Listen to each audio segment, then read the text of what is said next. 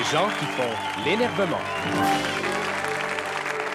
Bonsoir, ici Paul Tablette. Mon invité est Mario Dumont, le jeune chef de l'Action démocratique. Bonsoir, Monsieur Dumont. Euh, je vous dis bonsoir, hein, mais je ne suis pas dupe. hein, je me méfie quand même de vous. euh. Et c'est pour ça que j'enregistre la conversation. Bien répond, Mario. Monsieur Dumont, ça va bien pour vous depuis votre arrivée à l'Assemblée nationale?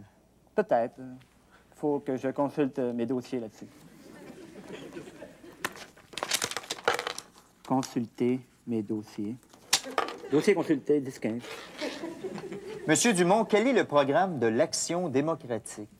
Eh bien, euh, je l'ai apporté avec moi, le fameux programme. Alors, ici, on voit euh, Super Mario et euh, ici Jean Allaire avec son épée de justice.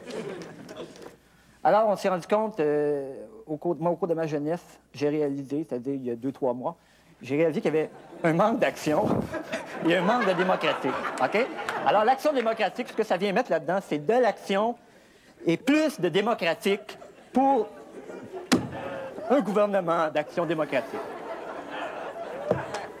Monsieur Dumont, à quel parti allez-vous donner votre appui lors du référendum? Les militants de l'Action démocratique ne sont pas moyennables, M. Tablette. Vous voulez sans doute dire monnayable. C'est une éventualité euh, à envisager sérieusement. Il faut que je consulte mes conseillers euh, là-dessus. Note pour ma biographie, je suis très beau. Donc, vous n'êtes pas prêt à donner votre appui? Le donner, jamais. Le vendre, ça, on peut discuter. Monsieur Dumont, est-ce que vous rêvez parfois de devenir premier ministre du Québec? Non. on me pose toujours cette question ridicule. Non, non, non, non, non. Premier ministre, jamais. Non, moi, je veux servir ma population euh, comme simple et humble empereur du Québec. J'ai hâte d'être dans le dictionnaire. Monsieur, du... Entre Michel Dumont et les Dupont.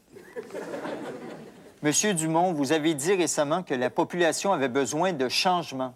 Oui, et on a pu les réaliser à Rivière-du-Loup, lors de mon élection, que les gens sont tannés d'avoir des vieux politiciens qui parlent pour rien dire. Ils en veulent des jeunes.